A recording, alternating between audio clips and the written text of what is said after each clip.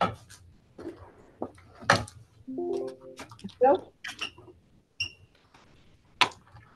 All right. Well, good morning, everyone. Uh, my name is Poonam Patel, and I am with the Governor's Office of Business and Economic Development. Thank you very much for joining today on this virtual webinar to learn more about our place-based programs and community-based initiatives. Uh, this event is part of our webinar series annually to highlight uh, our accomplishments from economic development partners across the state as they are developing their strategies um, and implementing those locally on ground. Um, as many of you may already be aware, um, Brian, if you go to the next slide. GoBiz is the state's leading entity for job growth, economic development, and business assistance efforts.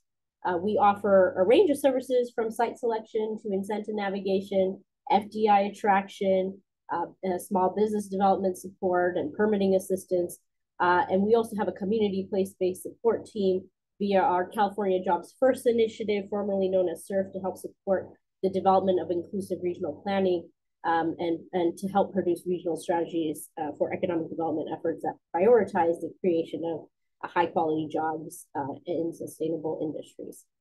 Uh, for your awareness, this webinar is being recorded and will be distributed to participants after.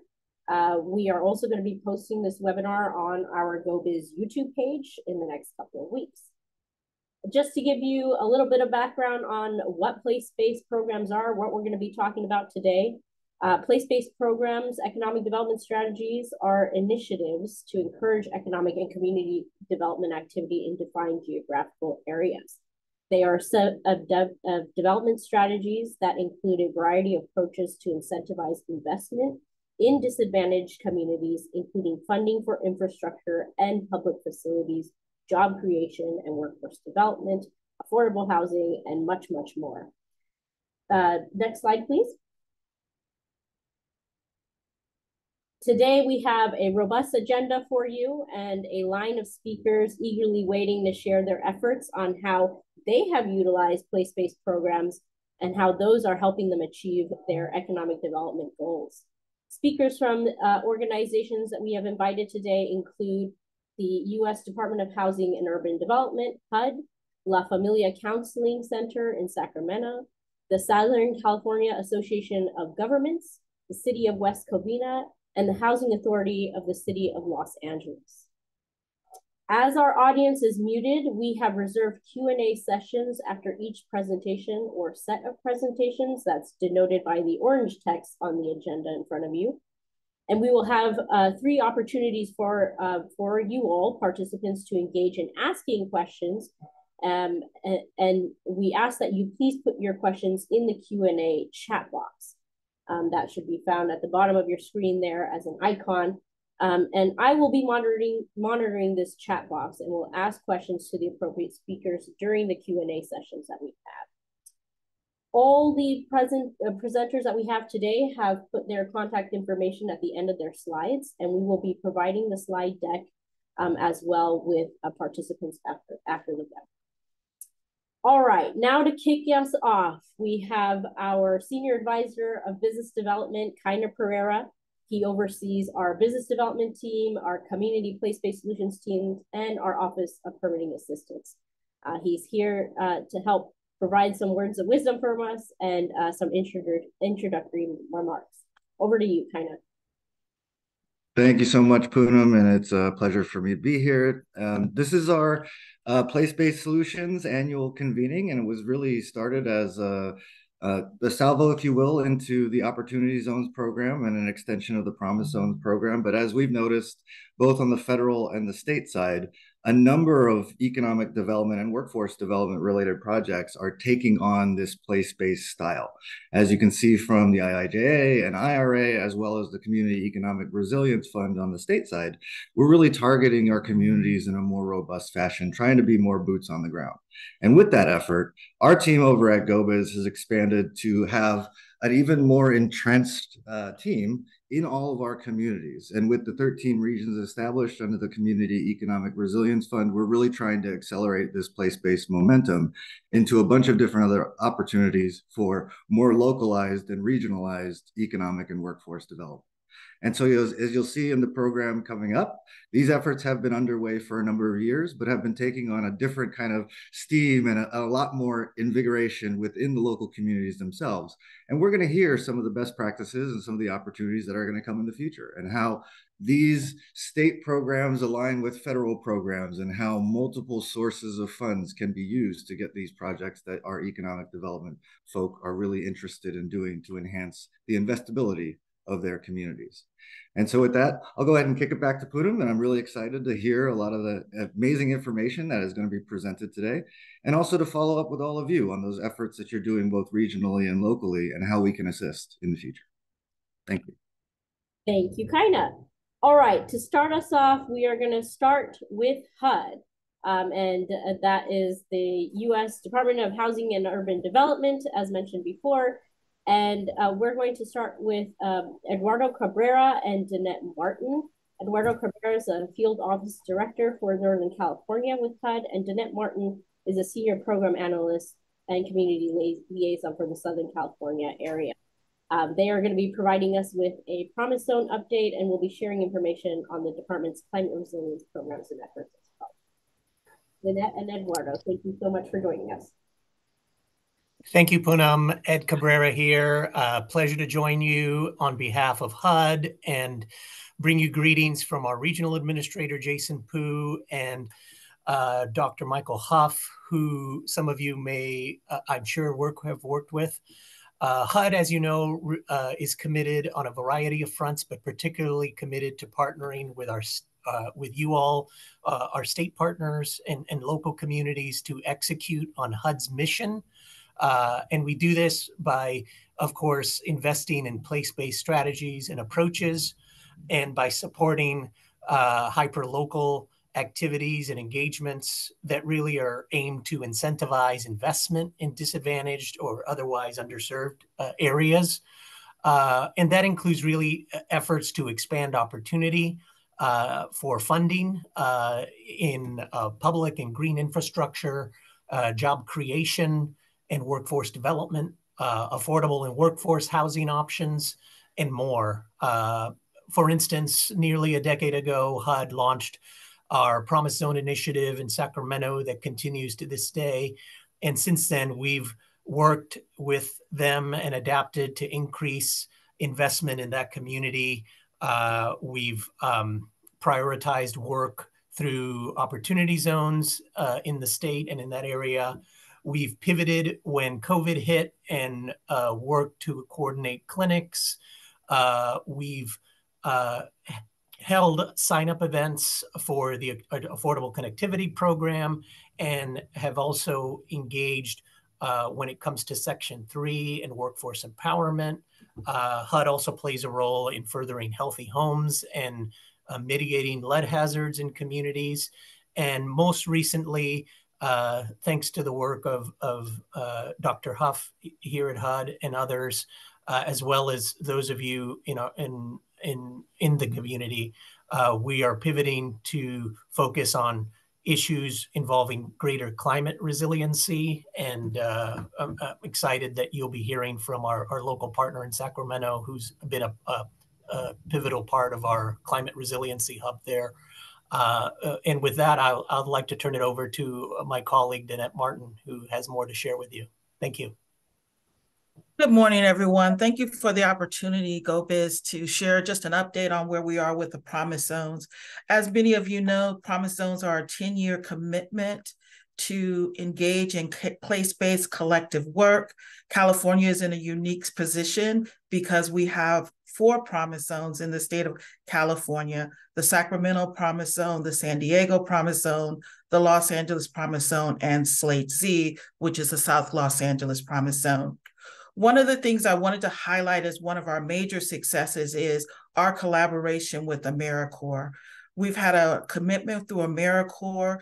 This AmeriCorps commitment provides us with 10 years of support for each of the promise zones that includes an AmeriCorps leader and four or more AmeriCorps members. And this has been really essential because it provides the human capital that's needed to carry out the collective vision and common work of our promise zones. So I did want to highlight that at the outset and just recommend that others in this space consider partnering with AmeriCorps.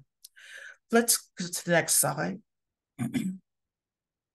One of the things I want to talk about a little bit is our Los Angeles Promise Zone. Our Los Angeles Promise Zone will come to its conclusion this January 9th of 2024.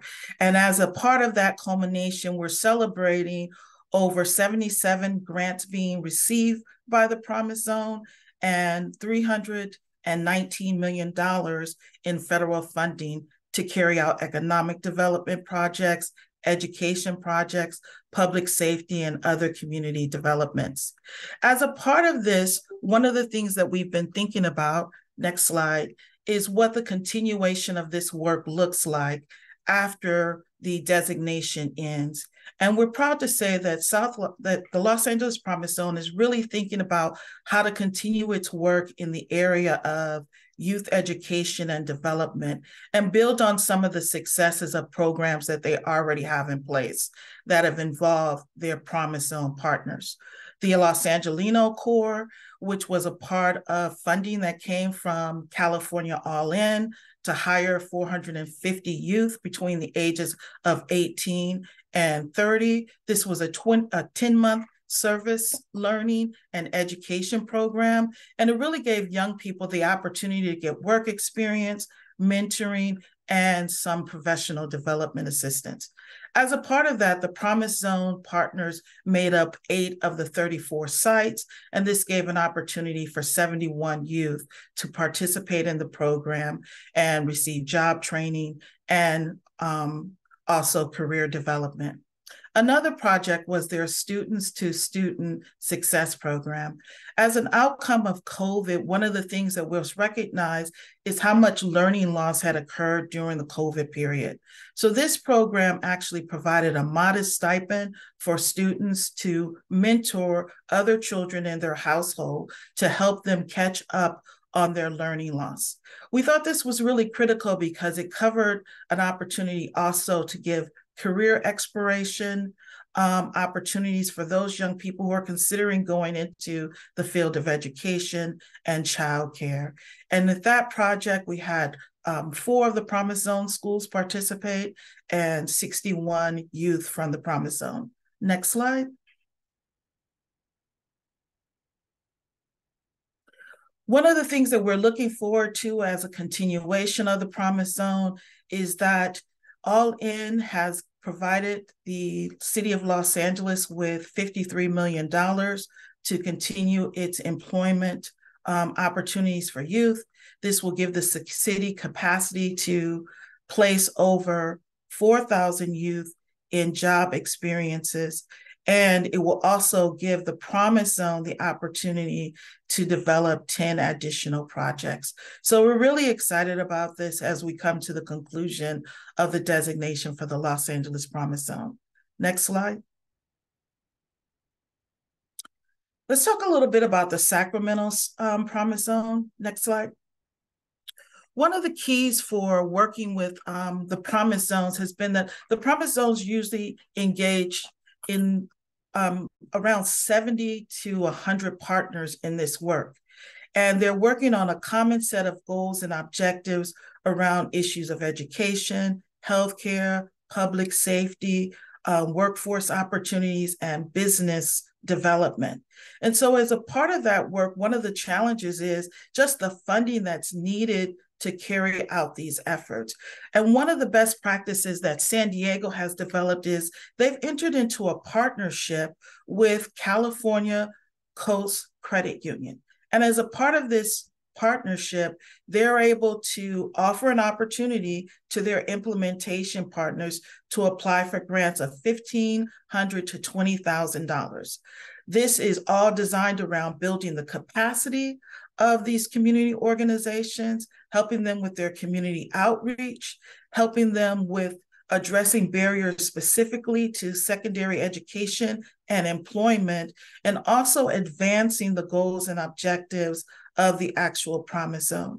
And so one of the beautiful things about this has been that up over the first two years of this five-year commitment, they've allocated $190,000 to 17 community organizations.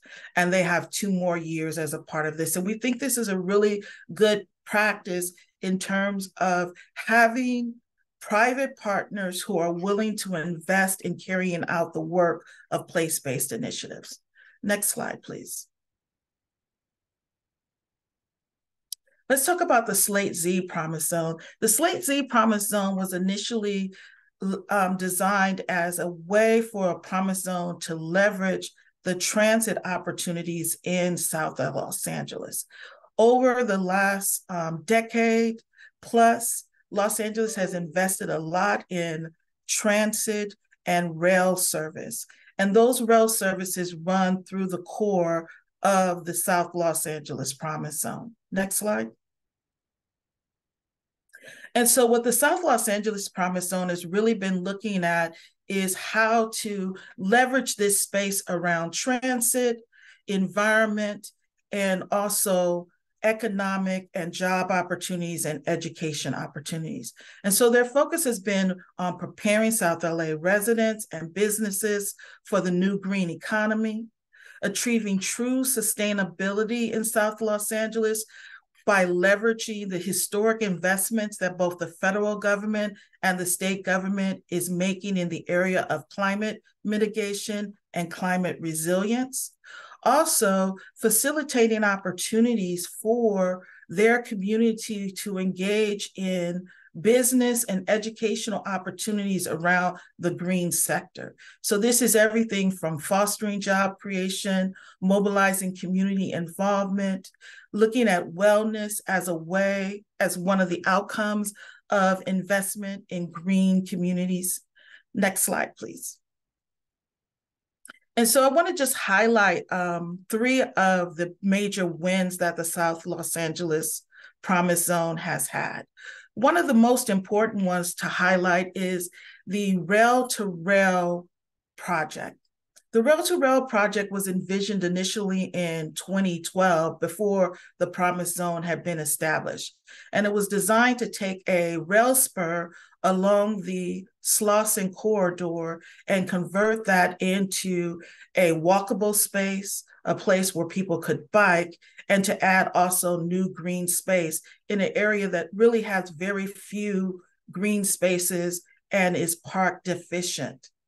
And so, what the Promise Zone has been effective at doing is supporting that effort.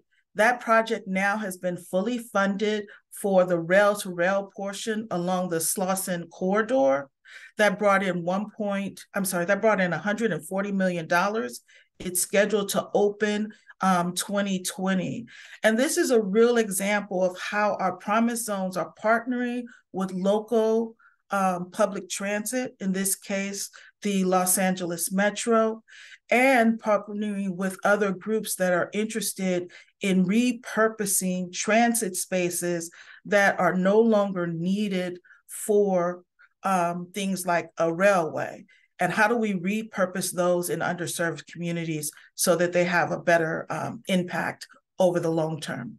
The next thing that um, Slate, D, Slate Z has done in this space is it received a um, Transforming Climates Community um, Implementation Grant following receiving a planning grant. And we're really excited about this too, because it's going to give the South LA community an opportunity to do some really creative things.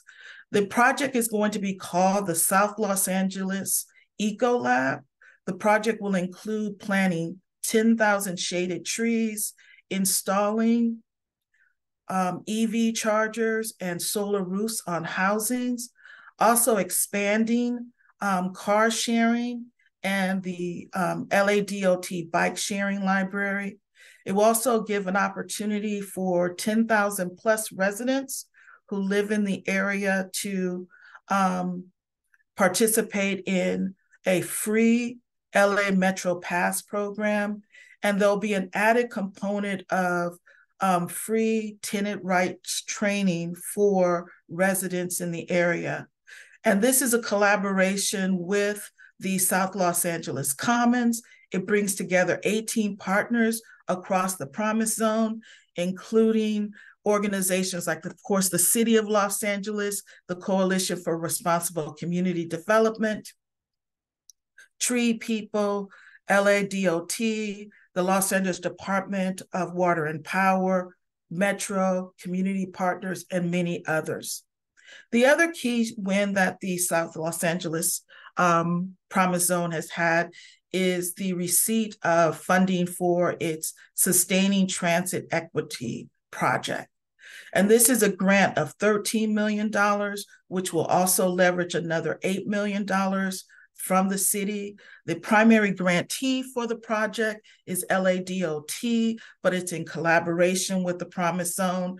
And this will add things like universal mobility, giving free passes and other ways for local residents to utilize the transit system. It also will expand the e-bike um, library. It will make available electric sh shuttle opportunities and a variety of other um, community efforts around transportation in Los Angeles that focuses on zero admissions. Let's go to the next slide. Want to talk a little bit about the Sacramento Promise Zone. Next slide. The Sacramento Promise Zone also had some lessons learned from the um, COVID period. They had already had a partnership with the Sacramento Literacy Foundation focused on helping young children with after school programs, especially in communities that are underserved and underfunded. And one of the things they've engaged in is a series of programming activities over um, a, a, over the period of time where young people had a learning loss due to COVID. This included giving families free books, it included doing a summer reading initiative and also a science reading lab. And so these are some of the highlights of our promise zones.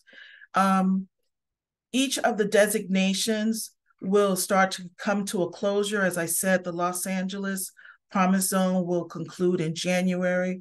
The Sacramento Promise Zone will conclude in 2025, and then the Los An the um, San Diego and the Los Angeles Promise Zones will conclude in 2026. Next slide. One of the partners of the Sacramento Promise Zone is La Familia um, Counseling Center. They've been doing some really creative work around creating resilience hubs. They've just recently received a grant of $5 million from the California Department of Food and Agriculture to begin to build out its resilience work focused on emergency responsiveness and resilience and disaster preparedness. And I'd like to introduce Rachel Rios, who is the executive director of Let I'm sorry, La Familia Counseling Center to do an introduction for that component. Good morning, everyone. My name is Rachel Rios, and um, as Jeanette said, I am the Executive Director of La Familia Counseling Center. We are a nonprofit that has been in the Sacramento area for 50 years. We just celebrated our 50 years, um, providing services to the community. Um, I'm going to just do a quick introduction about all of the programs that we um, provide, or many of the programs that we provide, and then um, turn it over to Dr. Jesus Hernandez, who has been our partner working on how we can really transform our community and our projects around resiliency and climate resiliency.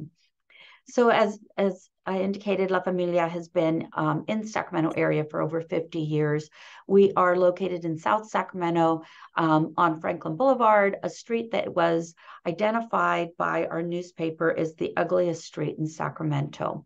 And so our goal is to transform that and to create resources in this community.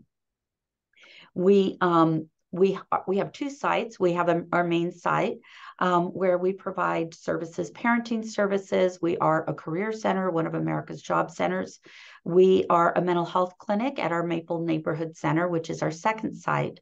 Our second site is a closed elementary school that we repurposed into a neighborhood center, bringing in other partners to be able to provide services that the community indicated they needed.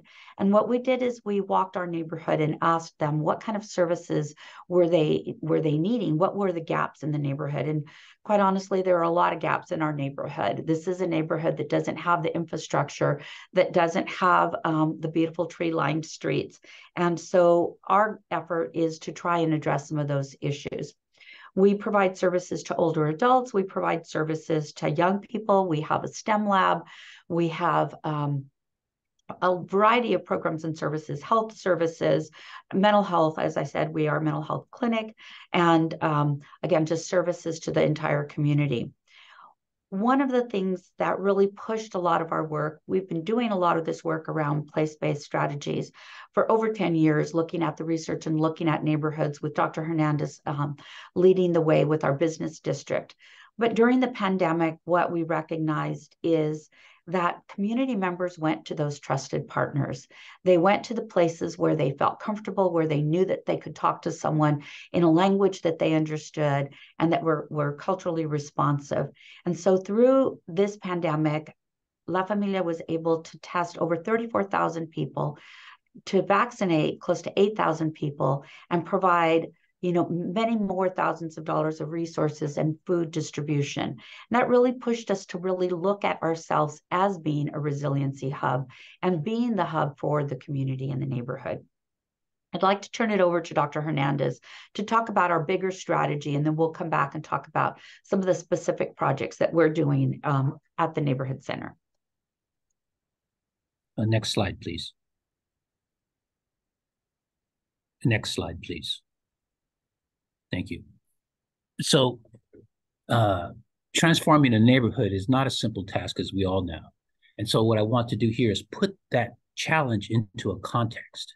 And on one hand, we have a series of overlapping conditions of crisis, uh, crisis conditions in healthcare, education, and tons of environmental hazards, loss of economic productivity as as money moves away from the inner city we have loss of jobs. We've got this COVID problem. We got uh, punitive immigration policies in a in a neighborhood that primarily consists of immigrant populations, and we have this pub, decaying public infrastructure that is so old we can't do anything with. On the other hand, we have this mandated general plan update from SB 1000 that really targets strategies for disadvantaged communities. Although there is not a lot of context that tells municipalities what to do. Although they're supposed to reduce pollution and improve air quality and food access and create good housing, there's really no clear strategies on how to do this, especially at the neighborhood level, which is what SB 1000 is really trying to get at that disadvantaged community. Next slide, please.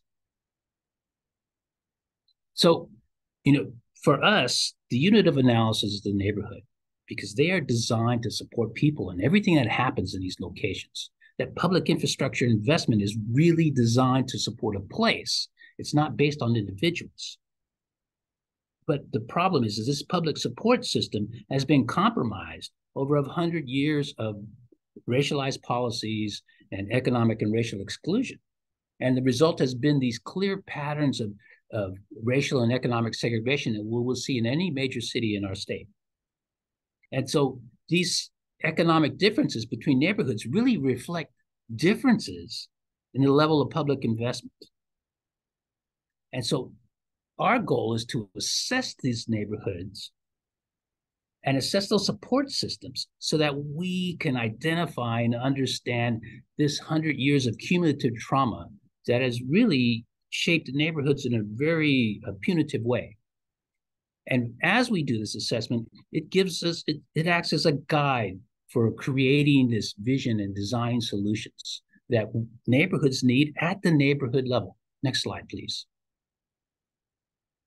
So our first task is to do this triage of our patient, the neighborhood, you know, and we look at social determinants because the neighborhood is the first place where you access your social determinants employment education housing healthcare and they're all interrelated because you know you get your health insurance from your employment and you get your employment from that you know your level of education etc so you can see how all these these social determinants are interdependent.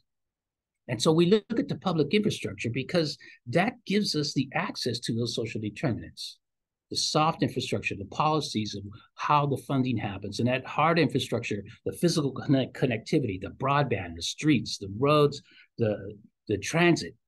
And we measure these differences between neighborhoods.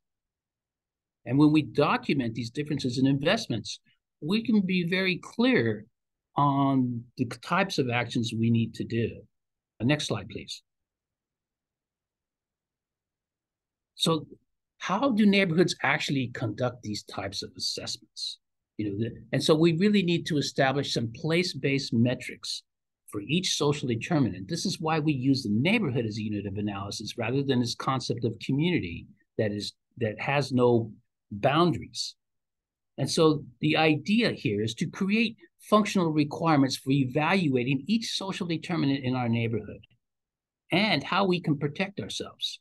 And these functional requirements start showing up in terms of like reliability. Is my transit reliable? Can I depend on it? Can I afford it? You know, if it's broken, how do I fix it? What do I fix? And does it create this process of economic productivity without any harm? And does it provide me with a level of resilience in times of calamity? Can we prevent a disaster? Can we recover from it? And does it correct disparate impact problems of the past?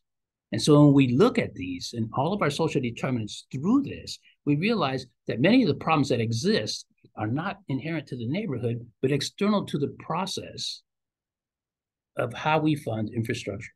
Next slide, please. And so when we start looking at the results of our assessments, one of the things that we have is a clear vision for what we need to intervene and how we should uh, use assets to for recovery. We know what to fix, and then we can start building strategies of how to fix things in the neighborhood. And when we do this, things like vacant lots, like you will see the projects Rachel is working on, they turn into assets. And when we do this, we have a community buy in because the neighborhood is actually involved in the assessment process. And this also ensures an institutional buy-in.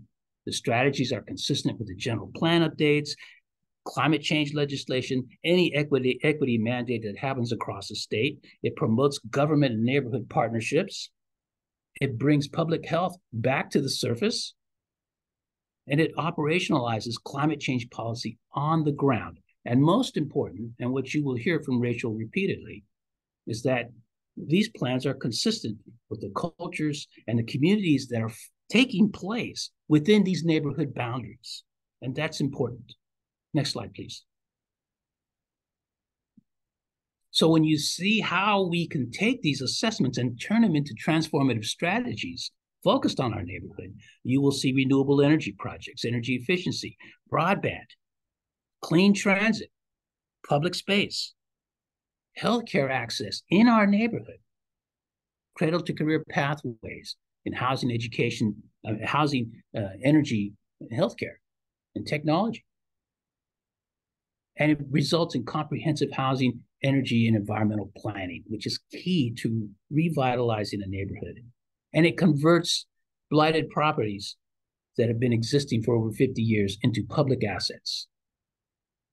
And so this is the balance that we're trying to achieve. This equilibrium between the environment, the economy, and equity. And this is what sustainability is about. Next slide, please. Okay, now Rachel's going to give you an overview of the exact projects that are happening at her site.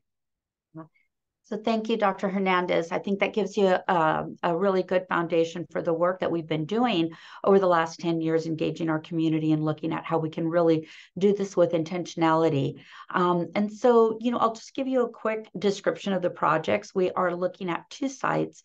Um, we are, our project overview has been to focus on our community and transform not just our facility, but the whole community by be, being able to provide these supportive services. We, we recognize we don't do this work alone, so we have many partners that are working with us in these efforts, but we are looking at two sites. One is the Maple Neighborhood Center, which is um, one of the, the closed schools that I mentioned. In 2013 and 14, our school district closed seven schools, all in economically distressed communities. And so we these were hubs for community members. And so we repurposed one of them, the Maple Neighborhood Center, and it is a neighborhood center with about five other organizations that provide services with us there.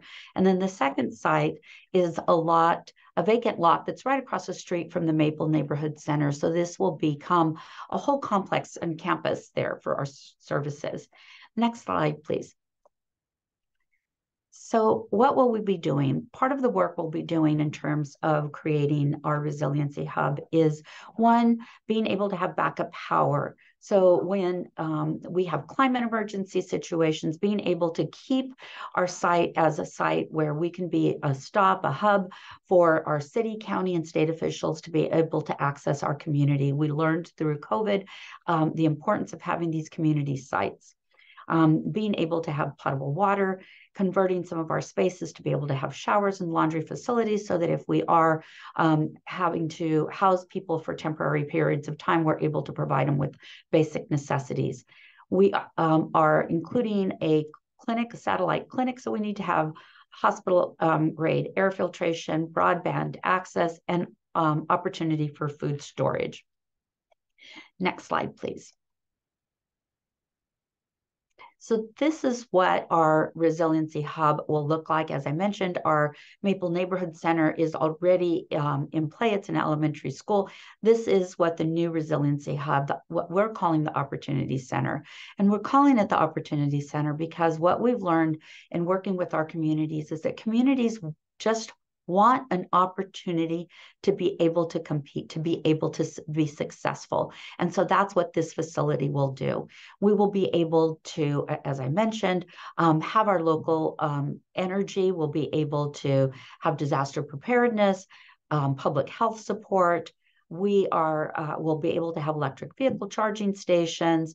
Um, when Dr. Hernandez talks about cradle to career pathways, Franklin Boulevard is an area where everything you need about cars is on Franklin Boulevard. You want a radio, you want um, new rims, you want a, a sunroof, new upholstery. It's all on Franklin Boulevard. And so as we move to green technology and, and electric vehicles, we want this to also be the place for people to be able to come and get their cars fixed. And so we are working with the business owners to have them learn about electric vehicle repair, working with um, our local community college to be able to bring those classes on site so that we're able to transform the businesses into this new green um, economy. In our Maple Center, next slide, please. In our Maple Center, again, this was a closed elementary school. The back of our school is a soccer field, which we when we um, took the facility, we opened it up, and it's a mini park. It's not a park; it's just a field. There's no shade. There's no place for people in this neighborhood to go and recreate. When you know we say that we know the importance of health and being able to get, have physical activity, there is no place in our neighborhood, no park. So we will convert the field into a mini park, being able to have shade, being able to have trees where people can come out. We know that coming out, trees are actual provide safety as neighbors come out and are shaded. They get to know each other. They provide support for each other. So this is part of the work that we'll be doing in our Maple Neighborhood Center. And um, again, we are part of the Promise Zone. We are part of the Opportunity Zone. Um, we have been working in this area for many years, and we are really grateful for a lot of our partners.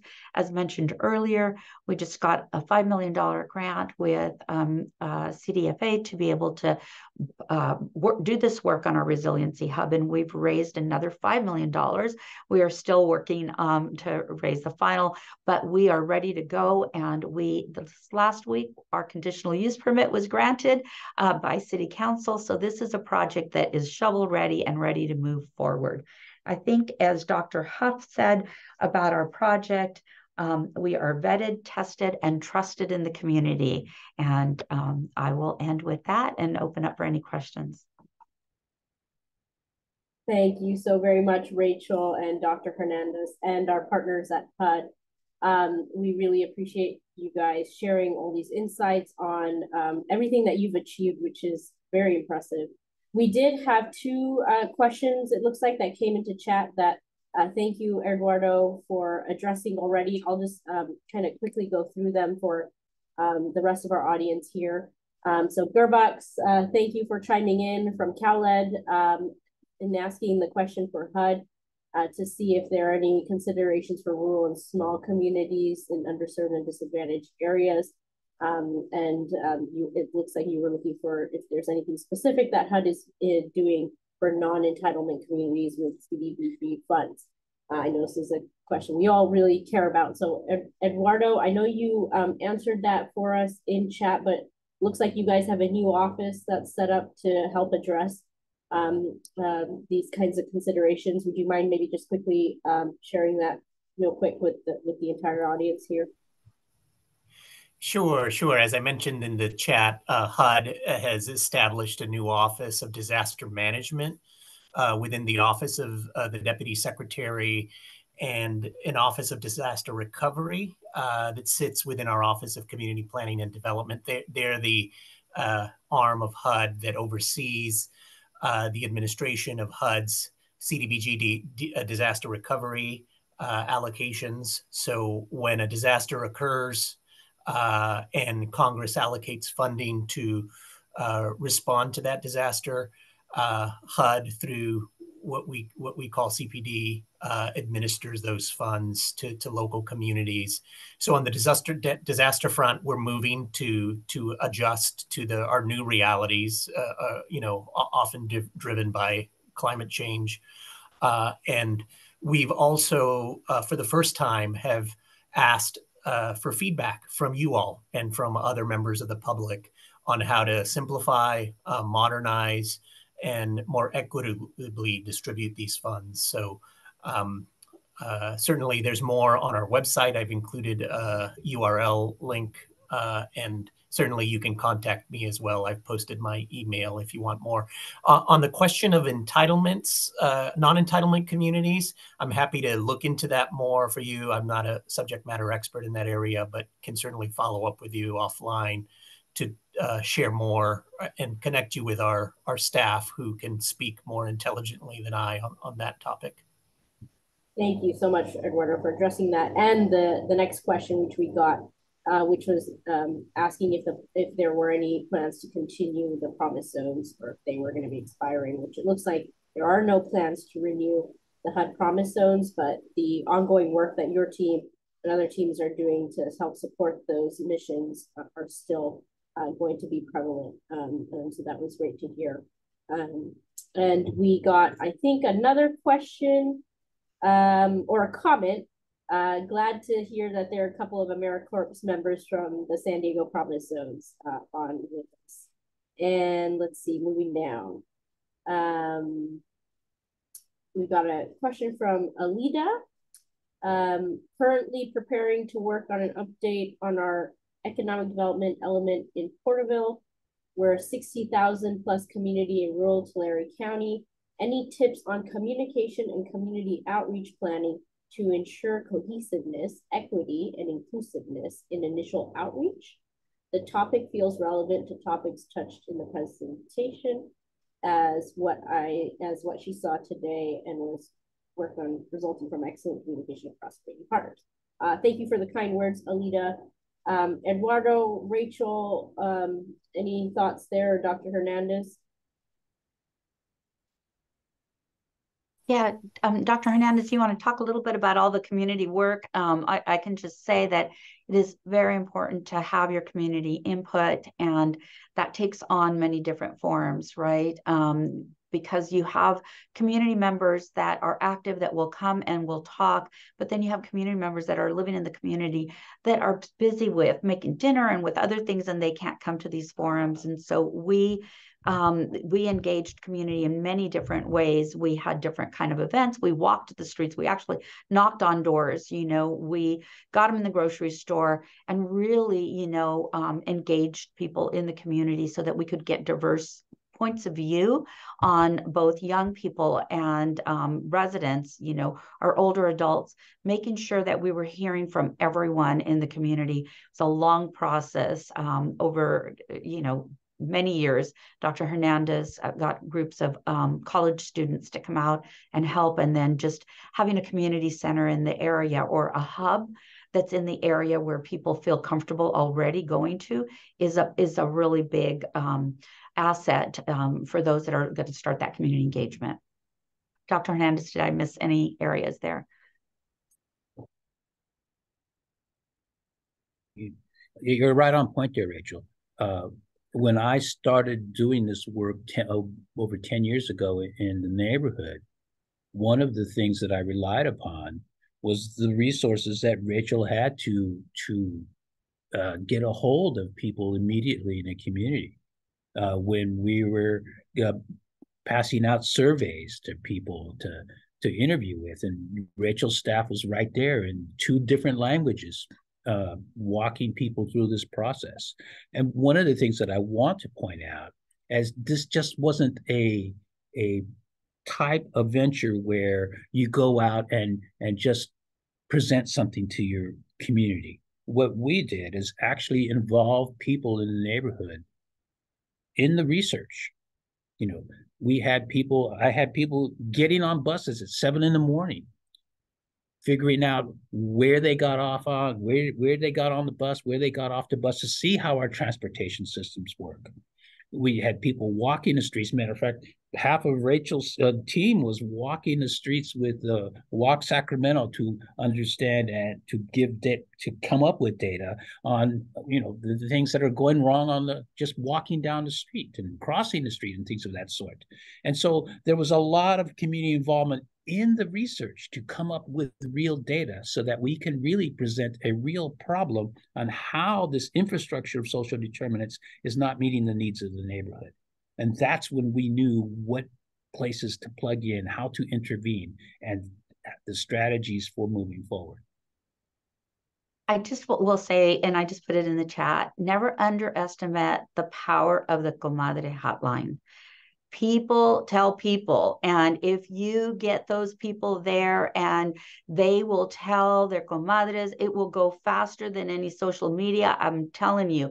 And so having those stakeholders in your community and we all have them who know what's going on they know every neighbor you know getting them to be part of your team you know you we need to compensate our community people you know and and um, help having them help you goes a long way and it it goes to that trust because it's someone who they see, they know, and they will believe. So I say the Comadre hotline is, is strong. All right, and we have one last question from Michael, uh, most likely for HUD. Uh, must an eligible place-based economic and workforce development project be located in a promise or opportunity zone? Danette or Ed? I'll chime in and then Danette, please feel free to, to add uh, if I miss anything. Um, uh, in terms of HUD funding, no, not necessarily. I think um, uh, certainly if your project or initiative does uh, uh, overlap or, or, fall in a promise zone or opportunity zone, it's certainly worth mentioning in your grant applications or looking in into uh, how that may affect the community. But yeah, HUD, HUD funding isn't limited to a particular community, uh, including promise zones. Danette? And I would just add to what Ed was saying. I think the only ways that it's kind of relevant is if you want to leverage, if there are preference points in a HUD or other federal grant, often those preference points will include things like the promise zone or opportunity zones or historically Black colleges or minority serving institutions. So you want to be attentive to federal funding that gives some additional points in the evaluation process to communities that are tied to those types of initiatives. Makes sense. Wonderful. Okay, we had another question come in from Clay, um, but if if Rachel, if you wouldn't mind answering that live for us, um, the question is addressed to you. I want to make sure we can stay on time. We're going to move on to our next set of speakers. Um, if anyone else has any questions, please feel free to put those in Q&A. Our speakers can address them live in the chat box. Um, okay, and uh, also wanted to uh, congratulate La Familia again for celebrating 50 years. Um, really glad to hear that, so congrats. Okay, mm -hmm. we're going to move on then um, to our next uh, presenter, David Kiobe, who's a senior regional planner at the uh, Southern California Association of Governments, or SCAG. And David's going to be talking us through the nuts, nuts and bolts of setting up an enhanced infrastructure financing district and the challenges and learnings they encountered along the way.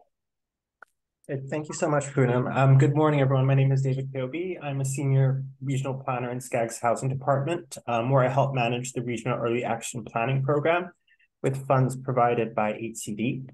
Um, I have to do this plug in every presentation. The SCAG region encompasses six counties, Imperial, Los Angeles, Orange, Riverside, San Bernardino, and Ventura, and 191 cities in an area covering more than 38,000 square miles. So we're a pretty big MPO.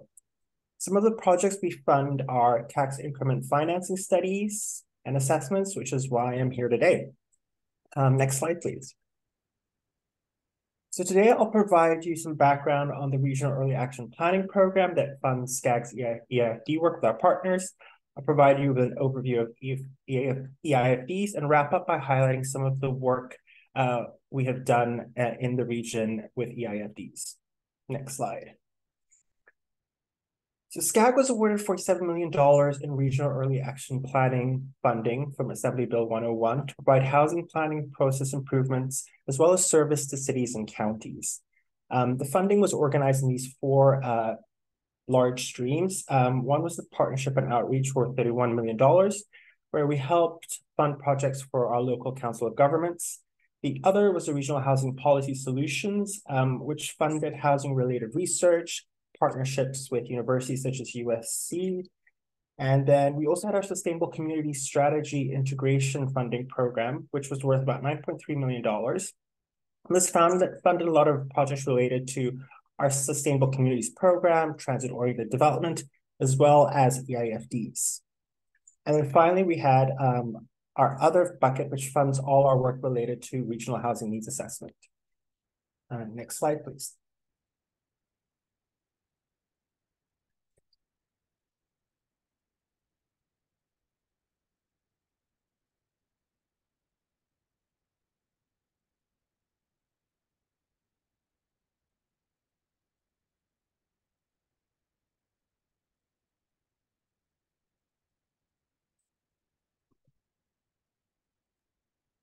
Getting there, David.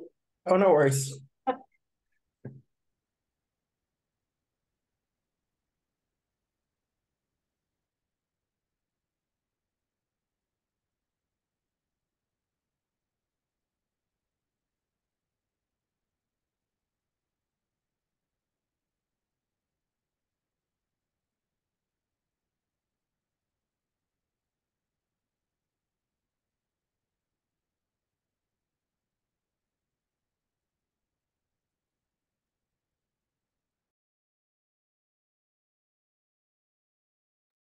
There we go. Um, so in 2014, with Senate Bill 628, the state revamped the existing infrastructure financing districts into what is called enhanced infrastructure financing districts. And EIFDs are specialized financing districts formed by either a county or city in California. They operate within specific boundaries and leverage future increases in property taxes to fund um, various public infrastructure projects such as streets, utilities, open houses, and especially important to SCAG is affordable housing. Um, EIFDs do not require voter approval to form. However, a 55% voter approval is required for the issuance of EIFD bonds. Um, so when a new construction development occurs within the EIFD boundaries, a portion of the property tax generated by that new project is allocated to a special EIFD fund.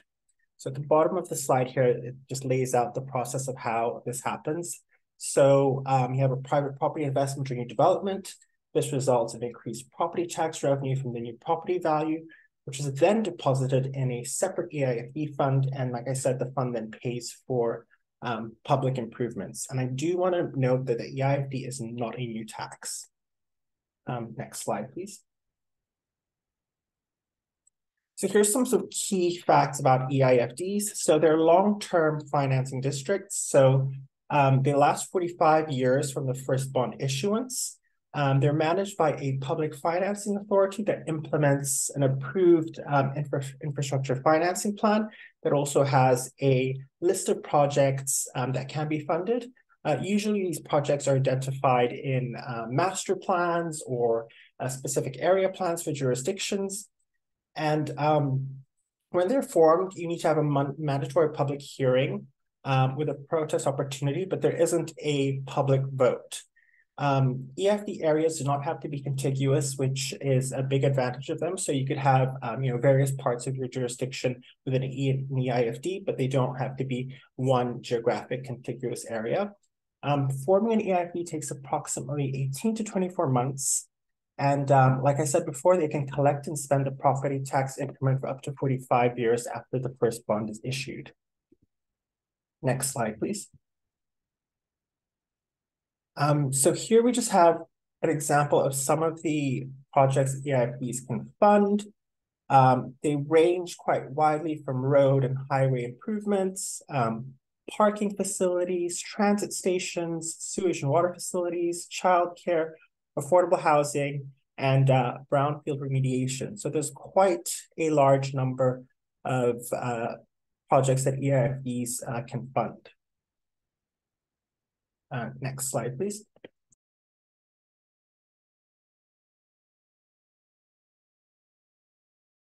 So what are some of the challenges of EIFDs? Um, so one of them is that EIFDs require a degree of ceding of authority from local legislative bodies to a state financing authority. Um, this shift removes some control from local jurisdictions and places in the hands of a broader state entity. And for some jurisdictions, this can lead to concerns about local oversight as well as decision making. Um, additionally, the administration of EIFDs can be cumbersome and expensive. So you have to manage the administrative funds. You need to have a person on board who um, looks over the project oversight and then funding allocation. And other aspects involve significant resources that um, can pose a challenge when you want to efficiently execute um, an EIFD. Um, there's also at times unclear delineation of authority and responsibility between the state and local authorities. And this can create confusion about who holds the ultimate decision-making power, leading to potential conflicts and inefficiencies and disagreements. Um, and um, if EIFDs utilize multiple, if EIFDs that utilize multiple parcels require the establishment of a joint power authority involving various stakeholders such as cities, counties, and potentially other entities. And you do have to have negotiations between the parties uh, with competing interests, and this can further complicate the process and add layers of complexity um, to EIFDs. Next slide, please. So in terms of EIFDs in the SCAG region, um, SCAG's REAP program has funded several. Um, the goal of us funding these was to provide planning assistance and help jurisdictions form um, these EIFDs. Um, the projects that we funded call for programs that are tied specifically to accelerating housing production, meeting community need, and also serve as best practices for other cities in the region. Um, next slide, please. So here I just have like an overview of some of the EIFD's assessments that we funded in the last uh, two years or so. So within Los Angeles County, we have our STAR, uh, City of Covina, that um, did a really good job of, of of establishing the EIFD, and we have Alana Spector today here, I believe, who's going to talk about the process about establishing that. We have the LAC, LAC USC Health Village, the Hardy Hollywood, One San Pedro, and then in Imperial County, we have the County of Imperial that's focusing on a more sort of rural-based EIFD surrounded around the Lithium Valley project. And then in San Bernardino County, we have the city of Yucaipa as well as the city of Barstow. Um, next slide, please. Um, so that's it for me. If you have any questions, please feel free to ask. Thank you so much, David. And um, now we are going to transition to the city of Covina. Um, and they're going to be sharing a little bit with us about their implementation of their EIFD, the process that, that they um, endeavored upon to create align, alignments um, in larger regional efforts um, and uh, the learning they made along the way too. Um, and with us to present today, we have Alana Spector, Senior Management Analyst, and Brian Lee, Director of Community Development, City of Covina. Thank you both so much. Thank you for having us today. We're very excited, and thank you, David, um, for the praise. We were really excited to work with SCAG. Um, next slide, please. So just a little bit about the city of Covina. Um, we're about 22 miles east of downtown Los Angeles. As you can see, um, we do not have regular borders. Um, we have quite a bit of unincorporated LA County within our jurisdiction, um, or I should say mixed within what would be our jurisdiction. We're in between two major freeways, um, the 210 freeway on the north and the 10 freeway um, just directly south of us. We also have quite a few colleges within our immediate area. Um, and our population at the last census was about 50,000. We're about seven square miles large, and our median household income is right around 82,000. So um, these numbers have stayed relatively steady uh, over the last few years, but we do have a lot going on. Uh, next slide, please. So um, we were asked, of course, to speak here. And so we can't be in front of all these people without bragging a little bit about ourselves. But I also would like to give you a little bit of background as to what we already have going on. Um, all of the pictures that you see here are within our EIFD boundaries. So uh, this time last year, we were lucky enough to bring the Laugh Factory into the city of Covina. Um, we proactively purchased a theater and did a partnership with the Laugh Factory, which you can see on the upper left corner. Um, and one of the Nexus sites that we have in our EIFD area is Campsite Brewing, which is this lovely brewery you can see in the upper middle. Um, they spent millions of dollars revitalizing it, and it's right along the Metrolink train tracks. We have a Metrolink stop in the city. And as you'll see um, below uh, with the cars and the people, we have a annual event called Thunderfest, um, where uh, this year we had 10,000 attendees. Um, and this is for classic cars. It's a really, really well attended event. We have a lot of involvement from our Parks and Recreation Department. This year for our tree lighting ceremony, we had 3,000 people. And for the parade that we just had this past weekend, we had 15,000. So um, we really do invest ourselves in our community. I mean, we're only 50,000 people, but uh, we really try to keep people engaged and have a reason to stay in Covina. And something that we're really excited about is right along the Metrolink train tracks through a development agreement, we were able to acquire a two and a half acre parcel for an upcoming recreation center. So it'll be about a $25 million project, which is largely uh, grant funded. It will house um, our Parks and Recreation Department, as well as a new library, um, rock climbing wall, dog park, outdoor activities, um, native gardens. So those are the renderings that you can see on the right-hand side. So we're very excited, obviously, about what we have going on already within the boundaries of our EIFD. Uh, next slide, please.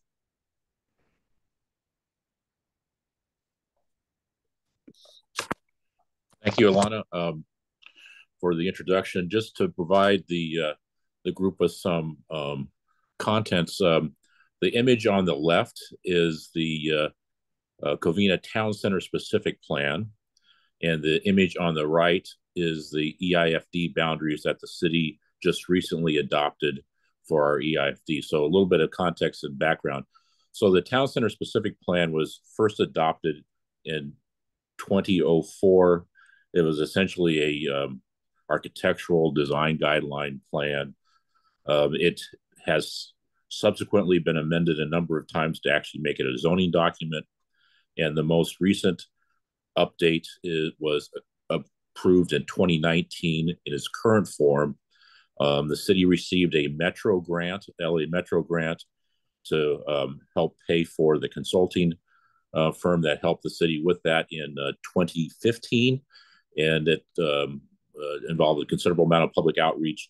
And the ultimate um, plan is on the left that it also embraces not only the historic core of the downtown, but also some of the surrounding areas around it.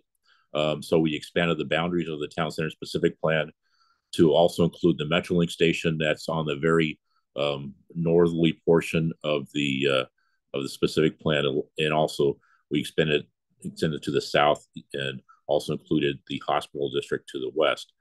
So part of that effort was um, as a result of the demise of redevelopment in California in 2012.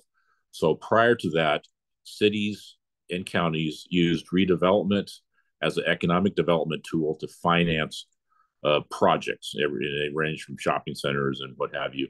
Uh, but when that went away, um, you know, and redevelopment was a was a sometimes a controversial um, tool, but when that went away, a huge amount of economic um, development went away with it, and so for a while, cities did not know what to do. Um, uh, the state legislature in 2014 adopted the EIFD legislation. Um, that kind of was sitting dormant for a while. A few cities were tire kicking on that. Uh, but uh, as part of trying to continue economic development activity, cities started to do a couple things. One, to incentivize zoning to uh, create attraction for developers to come in and businesses to come in. So there was that model, and our town center specific plan has done that. On the other um, tool that cities are beginning to embrace and look at more closely is the EIFD, which Covina has um, just very recently adopted. One of the elements of our town center specific plan is transit-orient development. Um, so that was the primary reason that we got the Metro grant. So we have um, embraced um, a lot of the mixed use um, projects that are around our historic core. So Covina is a very old town established back in 20, uh, 1901. Um, so a lot of our downtown uh, buildings along the historic Citrus Avenue are your classic two-story brick uh, buildings that uh, are you know that were built twi- in the 20s through the 50s. Uh, so from an architectural and land use perspective, our developments need to be sensitive to that and also encourage um, the uh, you know further investment. So we have probably um, about between approved and built to in the pipeline about 500 units within the boundaries of the specific plan that has either been constructed, under construction, or has submitted applications for, which I think has probably contributed to um, Covina's recent revitalization efforts, um, attracting the Laugh Factory, uh, some of the businesses that that have come into Covina because of the um, additional rooftops within walking distance of of um, you know all these uh, businesses. So the uh, EIFD boundaries was to help complement that. So we looked at a tool to uh, to as a companion in addition to the zoning incentives um, the EIFD provided us with an opportunity um, when we have enough bonding capacity that we'll be able to to uh, create a funding stream to do projects within these boundaries to assist with the with the economic development of of Covina. Uh, it, if we would have done this probably five years ago, we could have used some of the bonding capacity to help with with our our recreation village project, but um, we do think that is going to be a, a good tool, and we're really bullish on that. Next slide, please. So uh, this slide has the SCAG uh, Sustainable Communities goals on the left-hand side. Um, and on the right-hand side is our town center specific plan goals. So as you can see that those two goal statements kind of align very nicely and is, you know, coincidental because we adopted our specific plan in 2019 um, without without thinking of at that time an EIFD. So in looking at um, you know how to finance some of the things that we wanted to do, um, we turned to the EIFD. But of course, at that point in time, it's expensive to you know get the subject matter experts to assist the city with the EIFD formation process. So we applied for a SCAG grant um, to help us do that. And so that's how we got involved with the SCAG in this program. Um, SCAG uh, provided us with the funding to hire Kosmont um, to assist the city with the formation of the EIFD. And so that's what we have done with um, uh, to complement and to grow our downtown. Next slide. So David touched a little bit before um, about the timeline of creating an EIFD. And as we're well aware, and as you can hear from, you know, sort of the Nexus sites and obviously the town center specific plan, um, this is the timeline just for the EIFD establishment. But a lot of work went into, you know, having a place that could actually be promising before we ever got to this point. So prior to us applying for the SCAG grant, we had done some preliminary uh, research with a different consulting company to see is this even maybe feasible to to create an EIFD and and we were told yes we think it's feasible. So that gave us a little bit of confidence in moving forward. Um, so in May 2021 we accepted the grant award from SCAG for the Sustainable Communities program.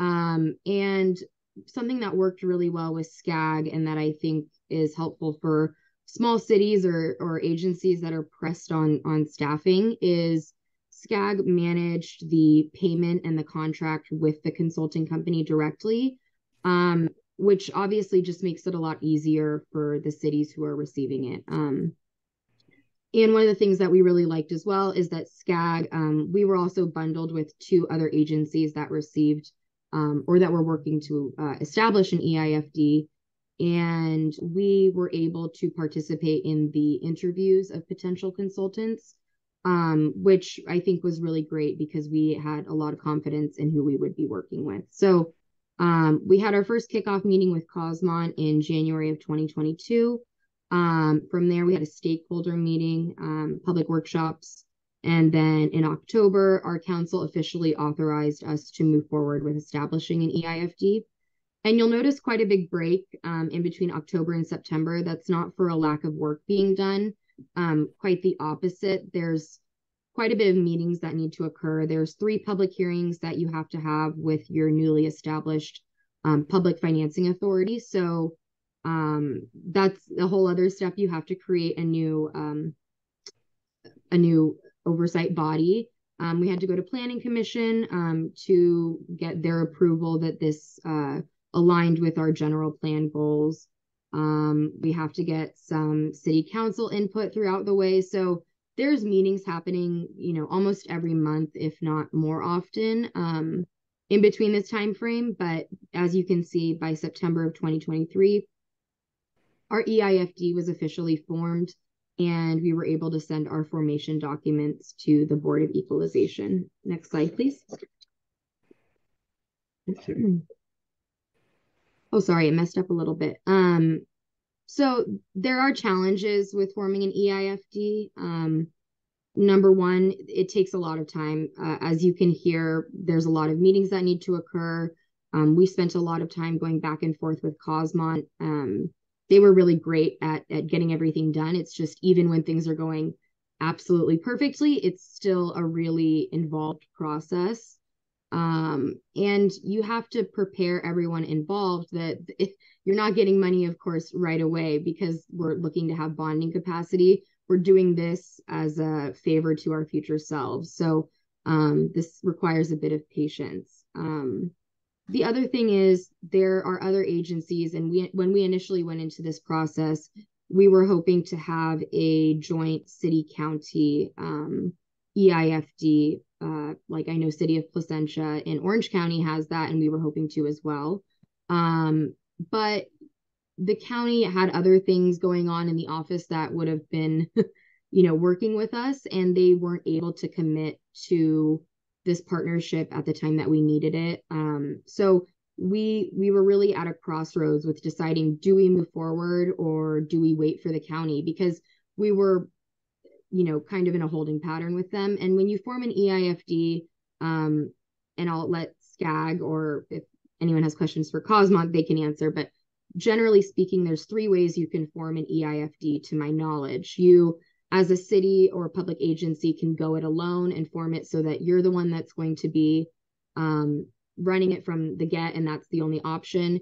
You can also form it so that you're the one forming the EIFD, which is what we've done, but you leave it open. There's specific legal language which allows for um, the county to join at a later date if they were to um, be open to it. Or from the very beginning, you can do the city county partnership. So the way that we chose was to move forward, but to allow there to be the opportunity for the county to join at a later date. Um, but you know there's imperfect decision making we're moving forward without a for sure answer um, the other part of this is of course staff education and public education um, you've heard i believe it was brian um, talk about redevelopment and you know i think something that we need to be cognizant of is that there's people like me who you know may have been quite young realistically when redevelopment went away so maybe our only understanding of redevelopment is from the successor agency side of it, or maybe there's not much knowledge at all. So I think um, recognizing that just saying, oh, it's like redevelopment light, you know, maybe that's not the best way to put it. There might need to be some more concerted staff education because we might not know at all what redevelopment really looked like when it was in its heyday. Um, and this also goes for the public too. You know, when we had our public workshops, we had people show up, which we were, of course, very grateful for, but um, reiterating what this district is for and what it's not for is something that you'll have to keep doing. Um, and even within, you know, your elected officials, they they they're not sure what this is either. So there is an education and learning curve involved. Um, and you know, lastly, the other main challenge and I guess risk of establishing an EIFD is you're you're choosing an area and you're doing this based on what you believe your district will be. So um, we chose an area that already had quite a few nexus sites. We have the TCSP and the zoning in place um, that should allow for good things to happen. And, you know, we have projects that have been submitted and, and things of that nature. But at the end of the day, you do hear about, you know, the economy turning and people walking away. Um, so we hope that the things that we've speculated on and that we, you know, attribute to our future growth will come through, but you don't know for sure. So there's there's all these levels of risk. Um, and I would say lastly too, you know, this has definitely got to be a collaboration between many departments within your agency. This can't just be the finance department taking it on because then you'll miss out on all of the knowledge that planning has and you know knowing where things are happening and what is going to be coming through the pipeline in these developments. And you can't just have planning do it um, or community development, I should say, because we are not, you know, finance people necessarily. So you need everyone to be on the same page and have equal dedication in order to really make this um, a success. And I would also add that you need to be able to, if you're not getting a grant to do this, um, we were very happy to obviously have this funded by SCAG, but I would recommend don't be a hero. You know, sometimes I think we try to say, oh, well, you know, we could do this ourselves and just, you know, we don't need to hire a consultant. But there's some things that are pretty complicated and it might be worth your time and energy and sanity to hire a consultant to help you do it because um, if this isn't what you know, then it, it will be hard to do on your own. Uh, next slide, please. so just a little bit about our EIFD. Um, what we ended up establishing is about, uh, it represents about 5% of our total land area, which is the recommended um, number. Somewhere around there is what is recommended by Kosmont. Um, and that is 213 acres of land within our city. Um, as I said, since we're going it alone with uh, the establishment at this point, we chose to allocate 50% of our future property tax increment um, and you know we'll see if the county ends up joining later on. We didn't do any motor vehicle license fees within that number. Um, and you know the uh, our, our, estimated revenues from the establishment um, would be about 27 million um, and then which is about 11 million in present value dollars. Um, and it's important to i think when you're choosing where to establish your eifd uh, you need to have nexus sites within it and you need to have some level of whether it's you know development that's pushed within your city um, you know from a planning perspective or if it's things that are naturally occurring whatever it may be i think it will be very difficult to create an eifd um, in a location that doesn't already have some of this occurring because you have to base this on future growth and if there isn't anything really happening or nothing set up for that, you'll have a hard time predicting what um, those numbers could look like. Next slide, please. So part of the EIFD establishment process is determining what projects you would like to fund, or I should say, um, having your public financing authority and your city council um, provide that guidance. Um, so what we uh, prioritized, and this can be updated at the meetings of your PFA um, after you've established, is a regional dispatch center, um, an emergency operations center. Um, something that we're heavily invested in is um, spurring or, or creating a fair district, and fair stands for food, arts, industry, and residential. Um, so kind of think of like an arts district type of location um, which is where the brewery uh, currently is.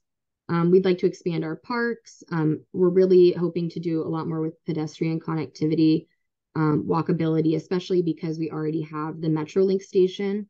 Um, you know, this is important to us, and and we do think it's the future, and you know, this will really help us with our environmental goals and everything related to TOD. Um, funding utility infrastructure, you know, obviously we want to make our area as friendly to um, incoming developers as possible. So whatever we can do to kind of incentivize is important. And then lastly, affordable housing support.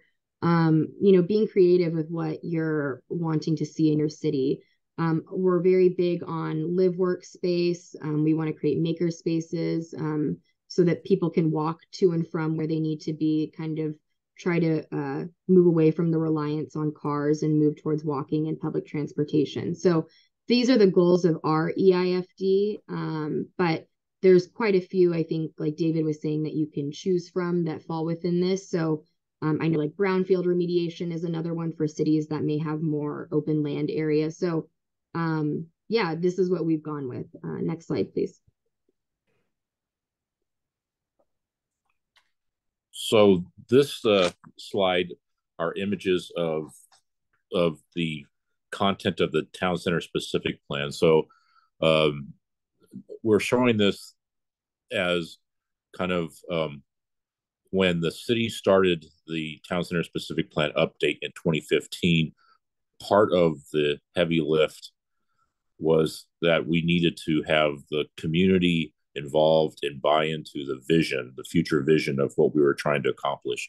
So these images here are um, these are not Covina. These are images that our consulting firm that helped us um, prepare the update uh, provided as kind of inspiration panels um, and to tell the community to in visual format as to what what you know the flavor, if you will, of what we were trying to accomplish um, so, like Alana mentioned, the Fair District, uh, one portion of um, of the of a neighborhood that is immediately north of the downtown, just south of the MetroLink tracks, is kind of an older, um, quasi-industrial, early automotive repair cent- centric area that um, doesn't look real great, uh, but uh, we've vis- visualized that this can be something if we encourage an arts district type of an approach that could be a complement to our downtown. Um, we had our first success with the uh, um, the brewery that opened up that took an old um, packing house. Uh, Covina was um, historically a, a very vibrant um, citrus packing um, area within the East San Gabriel Valley. So that old packing house was converted into the microbrewery with the immediately adjacent uh, former parking area becoming part of the outdoor grounds. So that's a catalyst site within the uh, uh, parameters of the downtown specific plan that we think will be able to be leveraged into other things. But this these documents um, um, helped to sell it, and so part of how the community embraced the EIFD was not as much of a lift as it may have could have been because they already embraced this town town, town center specific plan. And this was a a financing tool um, that the community understood to help with um, the you know to realize the some of the goals that the community embraced with the town center specific plan. And that helped immensely to um, um, reduce any potential public um, concerns. Matter of fact, our EIF, EIFD public hearing and community outreach process went extraordinarily smooth. Um, so next slide, please. So, so that um, kind of is our experience. But one of the things, just to kind of summarize on um, uh, what Alana has said and what I've said, is that part of communicating to the public what the EIFD is, is as much as communicating to them to what it isn't. And so you'll have property owners in the community that remember redevelopment. Um, and so when you start tax talking about tax increment, um, immediately that sends up some red flags as to what that could mean. Um, obviously, redevelopment involved the potential for eminent domain as for economic development purposes. So then when that went away, um, um, that tool went away. Cities still retain the, the power of eminent domain for public projects. Um, many people don't realize that. But part of communicating to um, your long term um, residents about the EIFD is telling them that it is not the old redevelopment. So those powers of old redevelopment agencies do not exist with EI with the EIFD. Um, it's important to tell them that there are no new taxes. Um, it's essentially just property tax that they're already paying going into a different bucket to be leveraged for future bonding capacity within the boundaries of the EIFD. So as long as the 50% of the property tax that is generated is going to the EIFD, and those are, are within the boundaries of that. So that other areas of the city are not contributing to the EIFD. Part of the heavy lift is the old redevelopment tax increment um, involved all the taxing entities that went into the tax increment. So school districts, special districts, the county. Um, so that that was one of the issues that made redevelopment controversial. The um, the tax increment is that you had a lot of other entities that were contributing their share of tax of the property tax into the city's redevelopment, and so that made for somewhat of a hostile um, relationship with those other entities. So the requirement of the EIFD law is that a all the school districts and the special taxing districts are not part of that unless they voluntarily want to join, and that goes with the county as well. So one of the challenges that we had that Alana talked about was was our effort to get the county of LA um, to participate with our EIFD formation because the county's share of property tax is relatively significant, and that would have made the bonding capacity of our EIFD probably double. Um, we do hope to re-engage the county to see if um, you know they would join us. Um, the the size of our EIFD is is a drop in the bucket to the to the total land area of LA County and their and what their um, property tax um, allotment is. So it really is insignificant. But uh, you know, trying to you know convince some of that to for them to voluntarily join um, is a bit of a heavy lift, especially when they don't have any property involved in the EIFD boundaries, and, and that's the case here as well. But um, in closing, um, you know, we think it's a great economic development tool. That is why we embraced it. Um, and it does take a lot of internal communication, as Alana mentioned, that you have to get your other um, departments on board. Um, initially, our finance department was somewhat skeptical because when we're talking about eliminating 50% of property tax to go into an EIFD, um, that 50% of, of property tax would have gone into the general fund. And most uh, cities' finance departments are extraordinarily protective of the general fund allocation. So trying to uh, get them on board in that it's not going into some special slush fund that only certain departments get to play with, um, that it really is a, a betterment for the entire community and that you know the economic growth that you you potentially are able to um, leverage actually will benefit the entire property tax basis property tax basis for uh, your city. So it's really not just um, this weird, you know, nichey thing that uh, um, you know the finance department it may not particularly understand, but it is, you know, as Alana said, public works, parks and rec, um, everybody is, you know, part of the city police department. Um, Covina has its own police department, and so they're heavily involved in the discussions about the EIFD in support of it. So, so the stakeholders are both internal and external, or external being the um, property owners and residents of the city. Um, and so that was our experience. We have not yet started to incur increment because we just did adopt it, and so um, we don't. We expect that within five years we'll have enough increment to bond against the uh, the EIFD. So um, you know, again, we we did this as a future vision um, of future staffs being able to use this as as a tool to complement some of the other things that we're doing here in Covina. And I think that's um, our presentation and we're available for questions. Thank you guys so much. Um, that was, wow, a wealth of knowledge um, on both fronts with those presentations. You guys got uh, a, a, a, number of questions, which um, I know, Alana, you've been addressing for us in the chat box, so thank you for that. Uh, there are two that I just wanted to call out.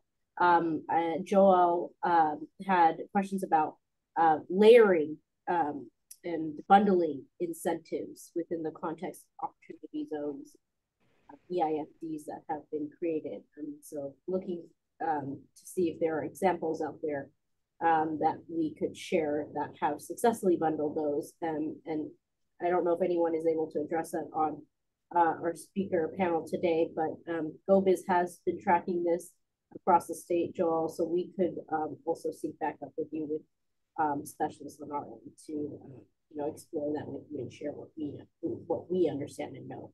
Um, but does anyone else on the um, uh, any one of our other speakers have wanted to address that question too? Well, from the Covina perspective, I mean, we didn't bundle it. I guess um, if I'm understanding the question is that is are are there other plans or you know you know other things that involve it was our our specific plan that was layered um, underneath, I guess, if you will, the boundaries of the EIFD. So in that regard, you know, if you want to call that a bundle, um, that's what we did. E even though this downtown specific plan didn't have an economic engine component of it, it wasn't other than it trying to attract development and attract users as far as um, you know zoning incentives, if you will, the development standard incentives. So that, along with the boundaries of the EIFD, would be what, from Covina's perspective, would be a, a bundle, if you will. Thank you for that, Brian. Um, oh, sorry. Anyone else want to intercept? Okay. Um, the other question, real quick, because we've got to get to our other speaker. Um, there's a question if there's an organization that supports the creation of EIFDs in Northern California. California, David, do you have any particular awareness on that front? Um, I'm not aware of a specific organization that supports EIFDs in Northern California, but I can look into it and get back if there's going to be um, an opportunity to send out answers after the webinar.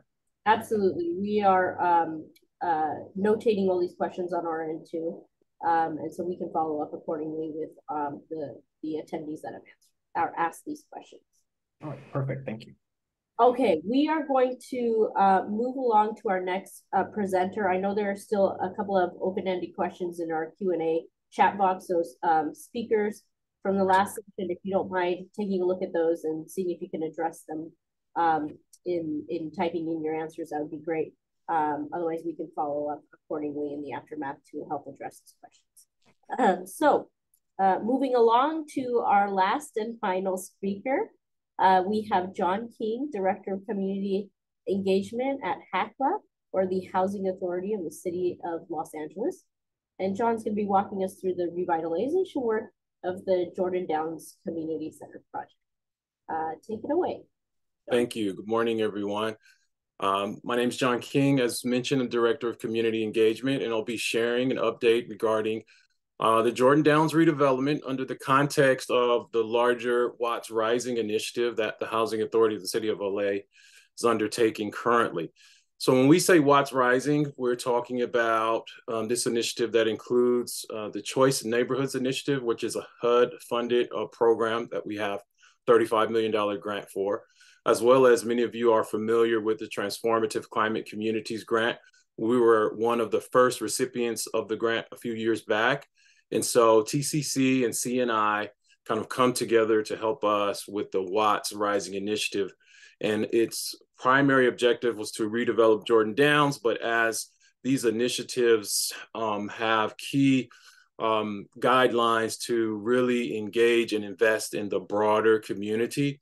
And so as the Housing Authority of the City of LA, the second largest housing authority in the nation, we have uh, about 60,000 housing choice vouchers that we administer in the city of LA, about 6,500 public housing units, another 2,000 units or so under our asset management portfolio. And we do a lot of work with the mayor's office to uh, address homeless initiatives in the city of LA. And so um, as we go forward here, the Choice Neighborhoods Initiative properly uh, under the HUD funding has three components, housing, people, and neighborhood. And so uh, under our People Initiative, the Children's Institute is our lead partner. Uh, they've been around Los Angeles uh, for almost 100 years, providing services and programs uh, for residents. Uh, our housing um, component is led by our Jordan Downs Community Partners, which is the Housing Authority and a few developer partners, uh, Bridge Housing, as well as the Michaels Organization. And then we have uh, the neighborhood initiatives, uh, which are led by the Mayor's Office of Economic Opportunity. And so as you can see, there's a great partnership here. So both for CNI and the transformative climate communities, we partner these key folks to help lead this effort as we call Watts Rising. So under the people plan, the focus is improving outcomes in these three areas, health, employment and training, and youth education. We look to improve uh, life expectancy rates in Watts. Uh, there was a study done a few years back, um, and Watts was determined to be one of the, the areas in the entire state that had the lowest life expectancy, uh, some of the highest crime rates, and the lowest educational attainment. So it's clearly one of the most underserved communities uh, in California. And so um, it's very important to us as we look to bring investment to address all these concerns, decrease violence, uh, look at bringing equity and education and higher opportunities. Under the housing component of this grant, we're looking to develop 1,400, uh, I think the number has actually gone up a little bit now, uh, in the neighborhood of 1,400 units. Uh, we're doing one for one replacement of the existing public housing units, which were 700. Um, we'll have some home ownership and a level of uh, market rate, but it'll primarily be an affordable housing development, which we're making some significant progress on. Uh, under the neighborhood initiative, there's some neighborhood level investments that we've kind of categorized in three areas, healthy connections, encouraging roots, and realizing a vision. And so um, as we go forward, we'll talk a little bit about some of these investments that are happening. Um, these are all leveraged and augmented both by the TCC grant and the CNI. So some of these went specifically into the CNI application where we leveraged uh, existing resources. And then as TCC came about, we're able to leverage and enhance many of these initiatives through, through this and uh, really makes for much better uh, initiatives and progress. So I have a quick video that'll show you here, that'll show you some of the great progress we've made since 2017 on the physical redevelopment at Jordan Downs.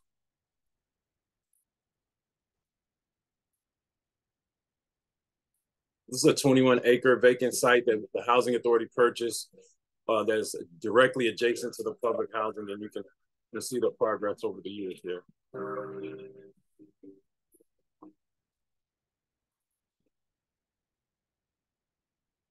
Bridge and Michaels are the two development teams on either side of the main Century Boulevard. They have a contractor to develop either side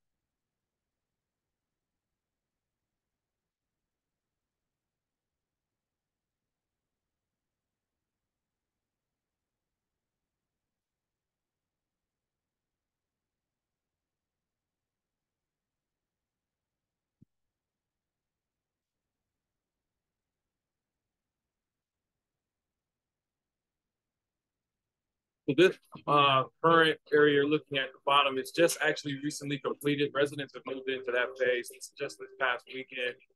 So we're a little behind on updating the video, but as you can see, um, there's a lot of progress being made.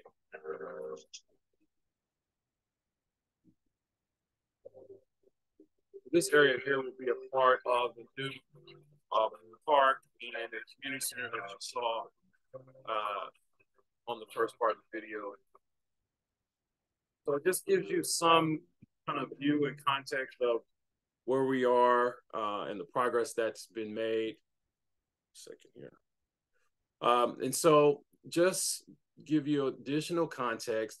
Um, the video started with this 21 acre uh, parcel. The Housing Authority purchased that parcel in 2008. Uh, and so as you can see here, Jordan Downs surrounds that parcel with Jordan High School there in the yellow.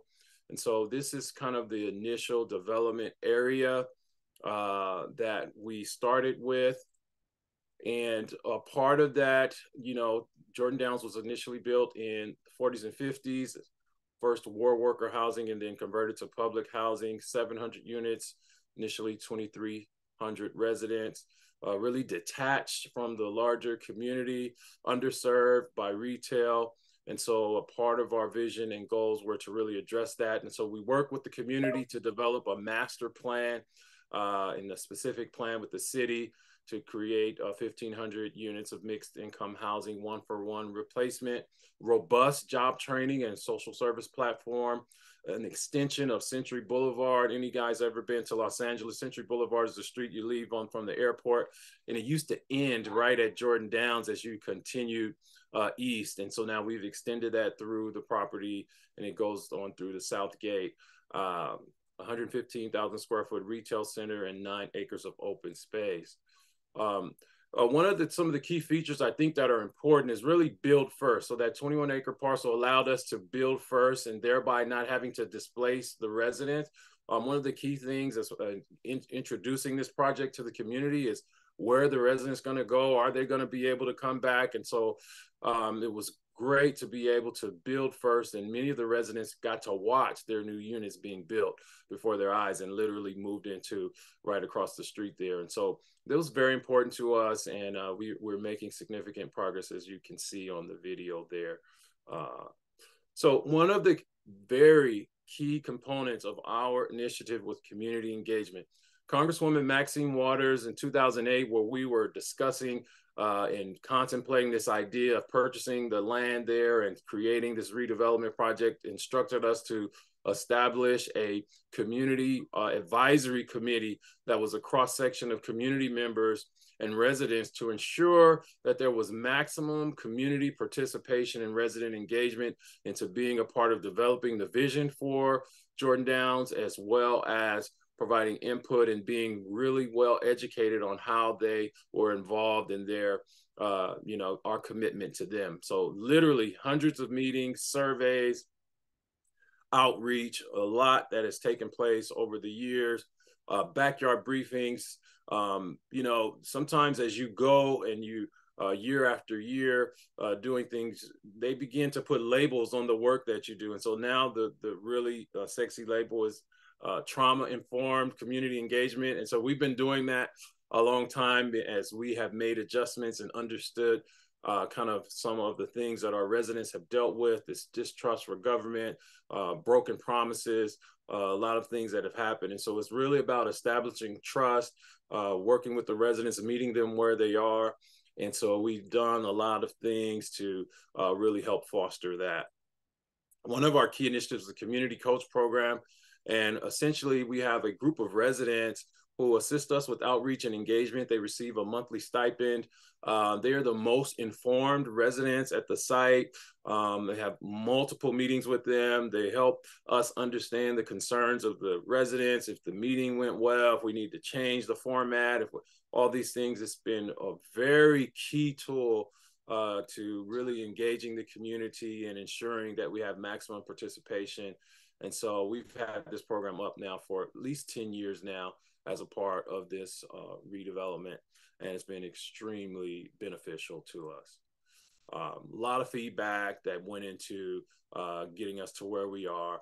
Uh, the advisory committee, we did a six city um, study tour where we went to different uh, cities where redevelopment of public housing had happened to talk to other residents and other stakeholders to really understand what the future could hold. And all that went into uh, the master plan of Jordan Downs. So I want to kind of give you a big picture about the phasing and how things are going. We, we talked about the 71, 71 acres total, 700 public housing units. And so what you see here are these color coded areas where things that have been completed, things are in progress and finance and uh, the future. Um, and so this green area uh, is sep- separated, and it's about 39% of the total resident units thus far. Um, we um, one of the big things people always said, are you going to change the name of Jordan Downs as a part of this redevelopment? It's a uh, it has, depending on your perspective, um, people wanted the name changed, and a lot of community members said don't change. So what we did is each phase we give it a name, but we say at Jordan Downs. So Cedar Grove at Jordan Downs, New Harvest at Jordan Downs, Oak Terrace at Jordan Downs. And so we have the best of both worlds, and so you can see um, there are a lot of uh, units that have been completed. One C I'd like to draw your attention to at the top. That's the retail center called Freedom Plaza which is complete. There are 18 stores there. Uh, I'll talk a little bit more about that as we go on, but it's it's uh, running, it's thriving. It's a Starbucks, Nike store, Habit Burger, Ross Dress for Less, Smart and Final Extra. Uh, there's two banks there. This is something that was just on a vacant factory site that the housing authority purchased, and to see that come to fruition is really, really exciting. Uh, and the community is very, very excited as well. We have some other phases under construction, um, 19% of uh, residential projects. Uh, and so we have these names S2, H2, and all these things uh, don't mean a lot to you until, um, especially if you're a community member, until you know that it's named and you know uh, that you're moving in. But one of the things I want to uh, also speak to as we have uh, funding lined up for some of these future phases we're looking at with our developer partners and uh, I want to talk about this uh, that that's very strange looking because we did build first. We're able to, and I spoke to this earlier, to residents to be able to move and stay on site. And we only demolish units once the residents moved into a new phase. This is very important for us.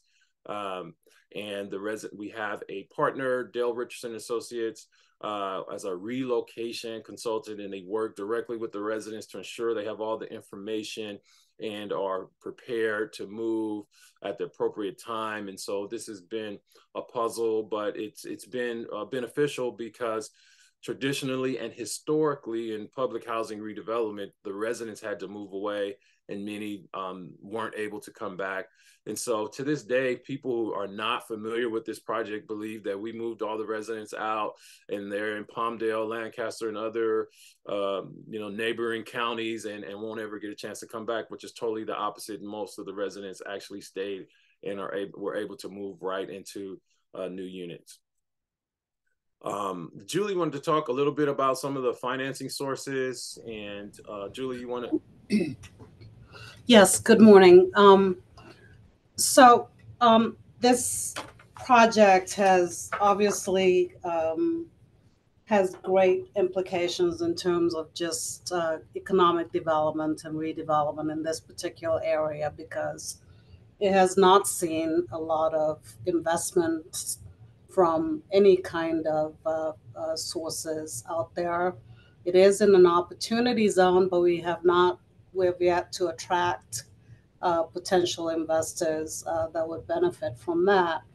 So, in addition to that, as John mentioned, uh, these buildings were built uh, in the early uh, in the early 40s. The infrastructure has not been upgraded for a long time, so part of part of our scope is not only to build the housing but also to upgrade the infrastructure. Um, so funding has been uh,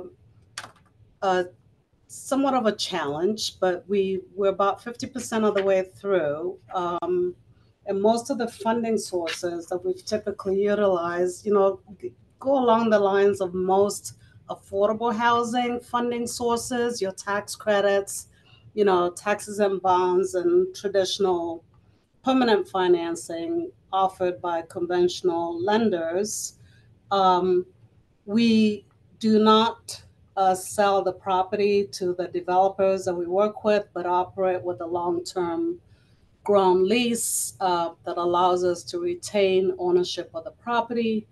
Um, and then in addition to that, we do use uh, uh, Section 8 or subsidies uh, to subsidize the operations uh, because a lot of times the uh, the affordability of these units are quite low and you have to supplement it with the subsidies to actually make it financially feasible. So we have the PBV Section 8 vouchers and RAD. For those of you that are not familiar with RAD, RAD refers to a rental assistance uh, demonstration program that has been implemented by HUD to assist public housing uh, authorities uh, to convert from the public housing model to more of a Section 8 sort of platform where you're not dependent on congressional allocation annually to uh, to run the public housing, but rather to convert it into sort of the sec- Section 8 platform where it's voucher driven, basically, but it's basically project based vouchers.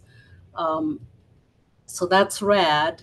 And then John t- touched a little bit, actually a lot, on the CNI, the Choice Neighborhood Initiative, which is uh, HUD funded. And I want to talk about HCD a, a, little bit because there really have been um, sort of a saving grace for us because uh, uh, sources of gap financing to make these projects work, especially when you have 19 phases uh, that you have to finance over a period of time. Um, the gap, the source of gap funding is really important. So HCD, uh, through all their various programs, we've been able to tap into a lot of their programs. TCC was uh, was wonderful, um, and ASIC, uh, as well as the infill infrastructure grants, which has really helped us in terms of financing the infrastructure out there. And then uh, MHP funds uh, for for gap financing, which you know they they more or less dictate that you um, that you cater to the lower uh, AMI households, which which is fine because uh, that's primarily the the target that we are dealing with out there. So so HCD has been, and I did, I think there's another slide there, but um, you know, the rest of it is is yeah, there you go. So so the you know the importance of the what we've been able to tap into HCD as you can see, the state, uh, we've received about $89 million, about 15% of the gap financing that, or to make these projects feasible, we've gotten from the state. And, you know, the rest of it, the bulk of it is, uh, you know, federal and state tax credits, uh, typical funding source for affordable housing. And then HACLA has also put in gap financing uh, when needed. But this this table shows you how we've been able to, to leverage all the different funding sources uh, uh, to make it work, which has been extremely helpful. We're 50% of the way through. We've invested close to 600,000, 600 million dollars into the project. And uh, at the end of the day, I think this overall project will probably, will probably be close to about 1.5 billion uh, dollars invested in a community.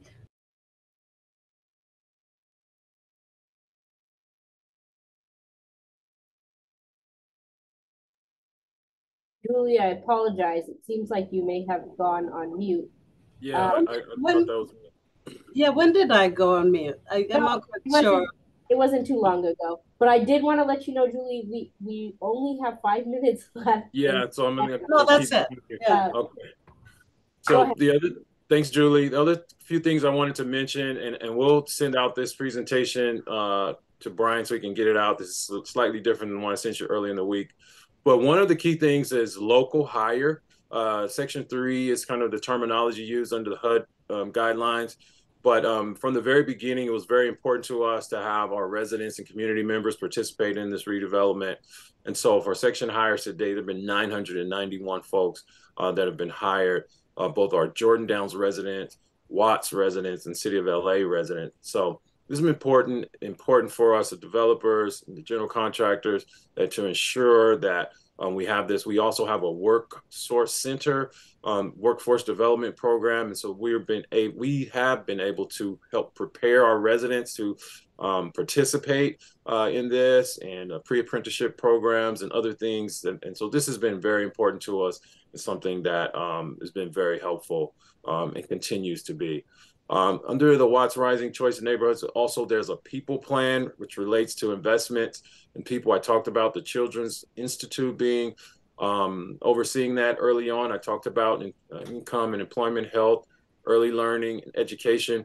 They have a three-tier system in engaging our residents in terms of service navigation, care coordination in tier two, and really for those residents that have really deep needs, um, they are able to connect them to mental health services. And so this is very important. And one of the very early community meetings we had, one of our residents said, you know, this is great, but you, you really can't invest in this property unless you're also investing in the people. And I think HUD gets that and the housing authority has bought into that from early on and so this speaks to some of the partners we have in some of these areas altamed cedar sinai kaiser permanente under education um, boys and girls club uh, partnership for los angeles schools college track so we work with a lot of different organizations to help achieve uh, our people goals um, we're going to talk about some of the neighborhood level investments again um, we'll get into just a few more with a few minutes. I'll just kind of show you some of the key things we have. Uh, this is uh, some photos of Freedom Plaza. This is the the shopping center that's right there, uh, the edge of the property that we purchased, and uh, it's it's beautiful, and uh, it's very exciting to see. Um, under Healthy Connections, we have a creative school signage program. Um, we're working with some of the schools to create um, different signage for kids at and as they come to school to help encourage them, motivate them towards school. Um, we have a uh, kitchen incubator with uh, Mudtown Farms. And so we're looking at how we bring in one of the requirements under the Choice Neighborhoods uh, program is that the city allocate 10% of the CDBG allocation to the neighborhood that's designated um, as a CNI uh, project. And so um, this is a combination of, you know, choice neighborhoods dollars, CDBG dollars, Um, there's a Watts Empowerment Music and Film Studio that we got some funds to help support. Um, there's a Watts Cultural Trail utilizing some of the CDBG funds to enhance this cultural trail. Um, some great artwork and other things that are happening. Watts Cool Schools, tree planting, and cool pavement uh, at some of the schools there under Encouraging Roots. Um, we have a, so a resilient homes initiative. So we utilize the Choice Neighborhoods Funds. Also is leveraged by the TCC grant um, that's not listed here, but for sol free solar panels and energy retrofits and green model homes. And so all of this is taking place in Watts uh, as we speak. Uh, there's some other kind of local nonprofits um, that were able to benefit from this. The Watts Latino organization it does a lot in the community. We're looking to support um, their facility there. Um, we're also looking at greening Watts. Um, there, as a part of between CNI and TCC, over 3,000 trees be planted and, uh, in Watts, and, and, much of that is underway. Uh, our business, our town business improvements. Um, there are 15 facade improvements um, that we'll be able to do through these funds. Um, yes. Thank you. We're gonna make sure we share your slides with all this great information. You guys are doing a lot. This is fantastic. Yeah. Out of Yeah. time, unfortunately. Um, All right, I try. I try my best to get through it, but there's a lot Yeah. happening, and uh, and we'll share this with everyone. Um, there's some other things. And this is the last slide. Essentially, I'll say in the right uh, here where the orange is, that's where Jordan Downs is proper. And because of our the housing authority's effort to invest in Jordan Downs and redevelop it, we've been able to impact a broader Watts community with all these green dots that you see uh, through um, you know the investments through TCC, CNI, and other things. And so uh, the rising tide does float all boats and, and, and assist the larger community, and the housing authority is uh, working through that. So thank you all very much. We appreciate uh, being able to be here, and uh, I will send this over to Brian so we can get out. Thank you. Fantastic. Thank you both, John and Julie. Appreciate you guys and all the efforts you're doing. And to all of our speakers, thank you. Um, and the partner agencies that you guys have been working with for the work you do in economic development every day to lead and drive these very important programs. Thank you guys for all that. At GoBiz, we appreciate everyone's interest in this annual webinar series and look forward to further collaborating with you all and sharing best practices um, in the future. Um, so we wish you all very happy holidays and look forward to seeing you all again in the new year. Again, we will be sharing the recording of this webinar in the next coming weeks here, and um, we will be following up with those who asked questions that didn't get those answered as well. So please look out for that too. Thank you, everyone. Happy holidays. Thank you.